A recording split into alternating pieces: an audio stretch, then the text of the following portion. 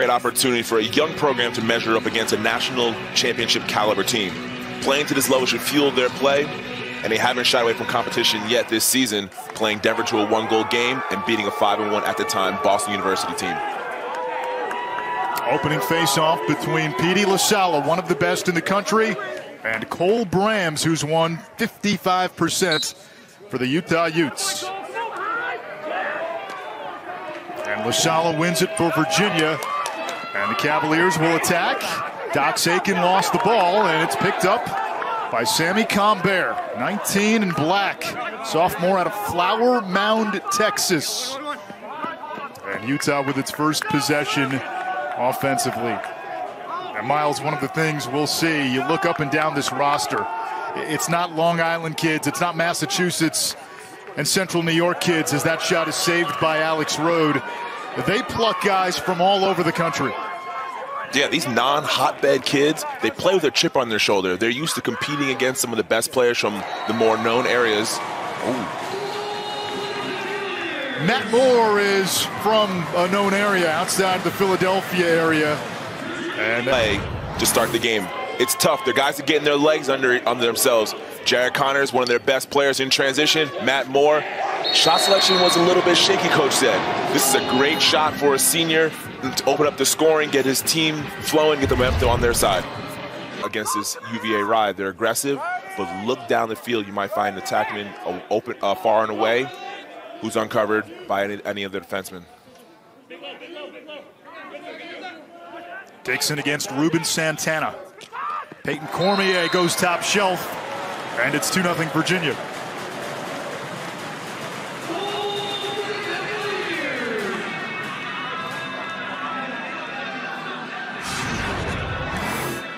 Xander Dixon.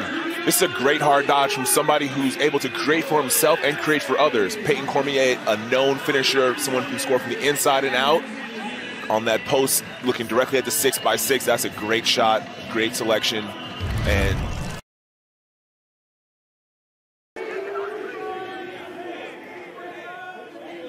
Here's Drew Wasserman, marked by Jake Gilleri. Wasserman out of Southlake, Texas. Rode was out of the cage, gets back in, and Utah gets on the board. MJ to know the work it takes to get to that level. Moyer on the run. How about Utah? They've tied it at two with 6.34 to go. The Utes not backing down early. Dodging down the alley and scoring a goal on the run. This is a good hard dodge. I like the way he just gets his body going back towards the goal as he's getting pushed through contact. This is a phenomenal shot. You can hang your hat on that being a freshman playing in, the, in this big of a game. You can tell Carson by the emotion, Moyer. the celebration. Yeah, he can play man of Ryan McMahon. Nice move there. McMahon fires and scores. His second, and Utah with a 3-2 lead. And look at the energy on that Utes bench. This is a huge energy goal. Like I just said, they just scored a goal, won a face-off, this guy already scored and made his presence felt on the game. What a great move. Dodging hard to his left hand, dips, dunks, gets the goalie moving. This is a textbook shot. He probably learned that from Will Manny. Holman just ran three suicides up and down the sideline. He's all fired up. He's back in his old haunts, ACC country. And Lars Tiffany's not happy. The sloppiness continues by Virginia. Utah fires and scores. Hello, Josh.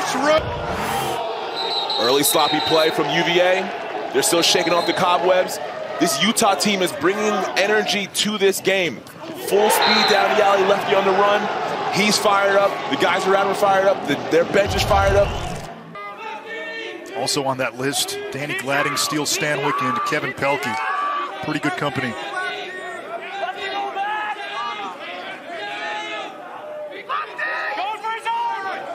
Charlie Bertrand had a hat trick last time out. Toward the cage, Bertrand, the former two-time Division II player. Simple razor pick at GLE, forced the defense to communicate. If there's no communication there, it's very tough to cover. I believe that's Bertrand's 300th goal of his career, and a special one for him. Three, four, three, Utah. Not a typo. Cormier from Shellenberger. And turned away.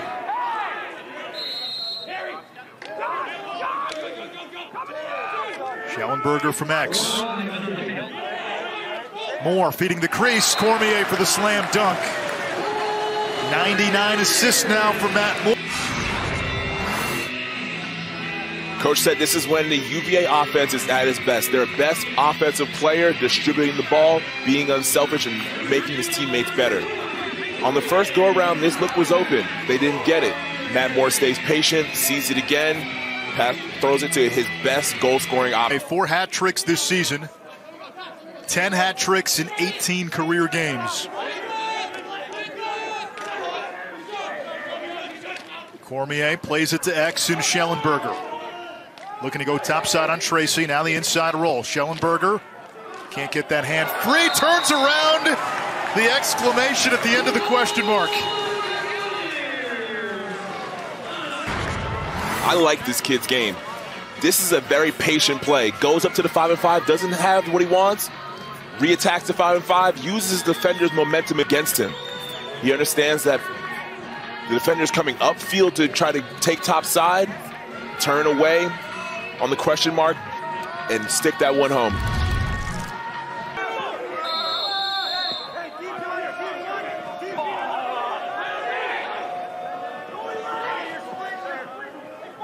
DeCesare sends it downfield. A chance on an empty net.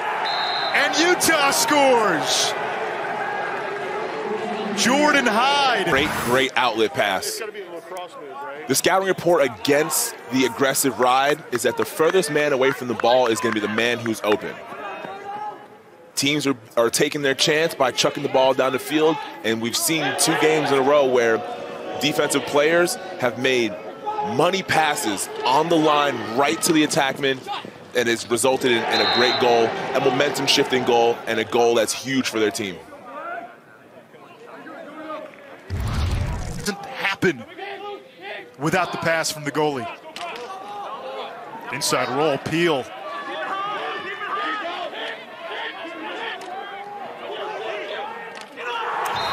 Utah retakes the lead at 6-5. They are relentless. Ryan Rogers, the freshman. He flashbacks right now. Ryan Rogers, a guy, when you look at his stats, he doesn't have much game experience. Played in just six games this year.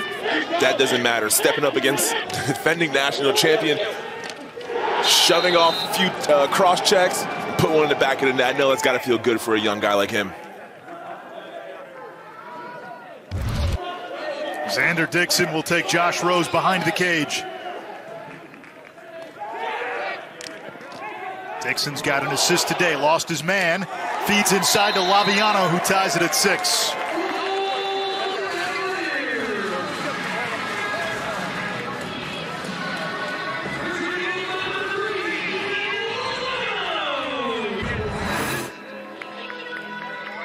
Great patience by Dixon. Uses great change direction here. Laviano, such a great off-ball movement. Just slides behind the head of this defender. Keeps his stick open, kind of pauses right in front of the net so he doesn't get too close to the crease, keeping his angle. Had nine goals in that NCAA tournament run for Virginia two years ago. Here's LaSalla. He lost the ball from behind. Picked up by Shellenberger, saved to Cesare. And it trickles in. That one's got to hurt for Utah.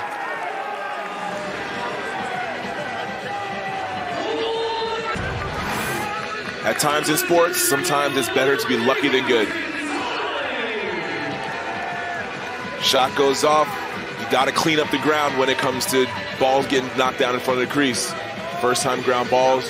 Pete LaSalla, is such a pit bull mentality, just all over the field, no matter what. This little push it. There's Matt Moore against John Rose. Short stick matchup. Moore, top shelf. He had the shorty. He was going to take it. Second goal for Matt Moore. If you're the Utah defense, you have to support the ball more here. This is a senior attackman, a guy who's played in a lot of big games, scored a lot of goals. facilitated a lot of assists. You have to support the ball here. He's going to take this matchup 100 times out of 100 times, and that's just a ball player being a ball. Duke on Thursday. In the game against Carolina, he was sublime. Two goals, six assists. Here comes LaSalla. Plays it to the wing, and Petey LaSalla triggering transition. It's Shellenberger. When LaSalla's winning faceoffs, it's instant offense for Virginia. This team is dangerous when the ball's in the stick of 23. He's winning faceoffs, getting ground balls, and coach is most impressed by his ability to play the game outside of the faceoff. You can't just put him in the category as a uh, Fogo. He, he gets the ball for his team. He makes plays. He's aggressive. He sets his guys. Dixon against Josh Rose. Dixon's got two helpers. That pass deflected by Combear. Garno, lefty bouncer. Virginia starting to progress to the mean. That's five in a row. Momentum on UVA side. They're winning the face-offs. They're getting the good looks. Their guys are dodging hard. Good roll back here. Strong shot when you see the opportunity. That's a great skip off the roll. Oh, tough, tough for the defense. Gets the stick on the ball. Gets a stick on the stick. That's just a of the western frontier of college lacrosse. Laviano on the doorstep, and that one trickles in. Two for Laviano, six straight for Virginia. It's 11 6.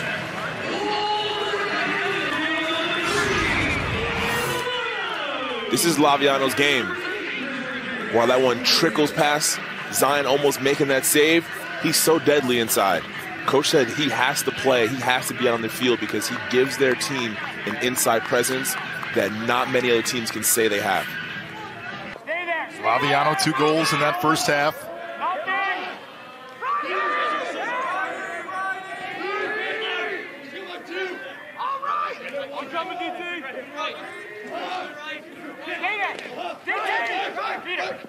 More head up looking to pass. There's Dox Aitken against Combear. Aitken scores, it's 12 6.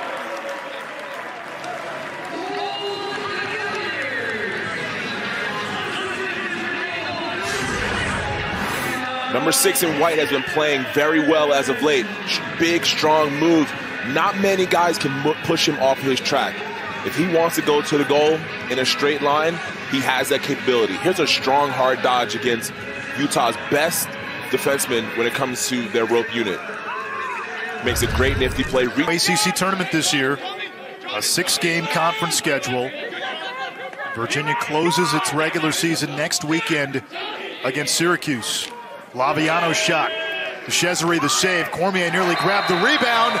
Plucking it out of the air is Xander Dixon as Virginia cleans up the scraps. Defense, you got to support the goalie, especially on rebounds. Got to clear the crease. Xander Dixon, opportunistic position. Sees the ball, gets the ball, makes the count, puts in the net. Downhill.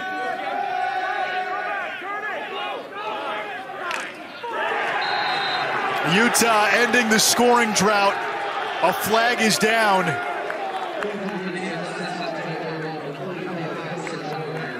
Carson Moyer, his. This is a tough play. Canadian player, box background, hard lefty dodge. Contact means nothing to him. Fading away, Still gets a hard shot through the contact, through the push. Gets rewarded with a flag on top of it. That's the second time we've seen him. The Utes again, some of that energy that they had back in the first quarter. Playing hard off the face-off, rewarding their team with the ball on offense. This is a simple step down from a guy on the wing, left-handed player. You dream about shots like that.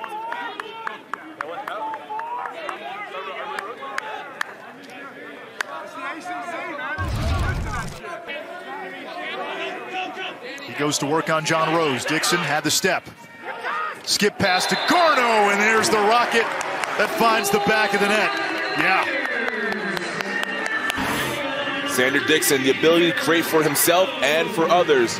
He gets his ball to Garno. Garno is an exceptional midfielder. He can shoot the ball from deep, and he can shoot on the run. He puts the shot from range on display there. On the flip side, though, don't you want to at least try to get some meaningful reps for a potential insurance policy if something were to happen? I believe that too. Gavin Ty is their next guy up, and I think he'd be the next guy to kind of get some reps. Hat trick for Peter Garno. Shoot with both hands. And this is straight speed. And like I said before, in his last goal, he scored that from about 14 yards out. He can do it by shooting it by you. He can do it by running by you. Very versatile. One of the guys that he'll that UVA will definitely be able to counter those moves. Now, playing against two-headed monsters is one thing. I think that also allows him to be better, um, you know, as the game goes on. Shellenberger's got a hat trick.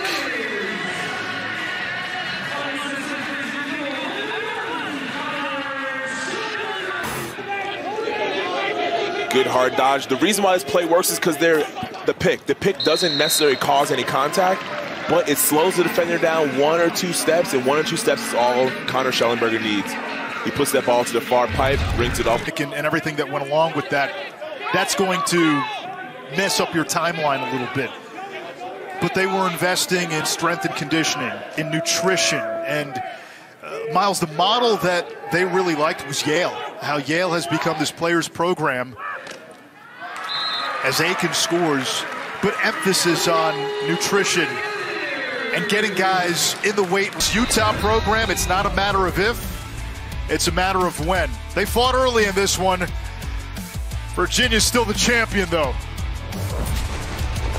To be the shooter and, and you know take poor shots, UVA is going to suffer.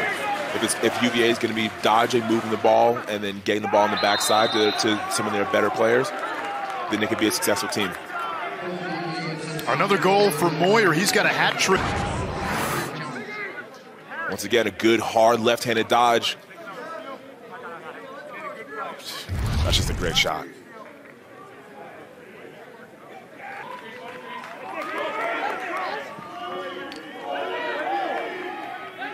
Also a big uh, cryptocurrency guy, I'm told. I think a lot of people are big cryptocurrency guys these days.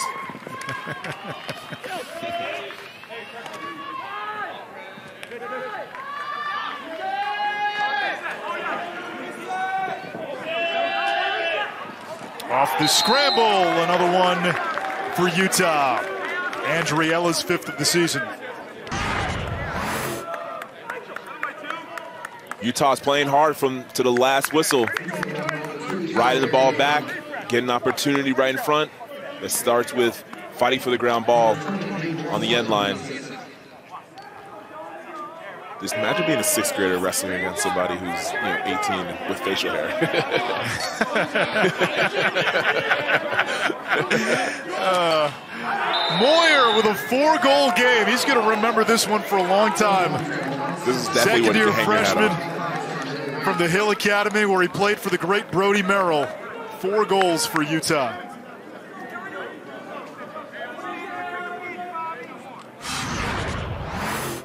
Just another hard left-handed dodge. Gets to a strong hand, shoots through contact again. That's a great shot, approaching a slide and getting the shot off. Strong overhand finish, not afraid to get hit.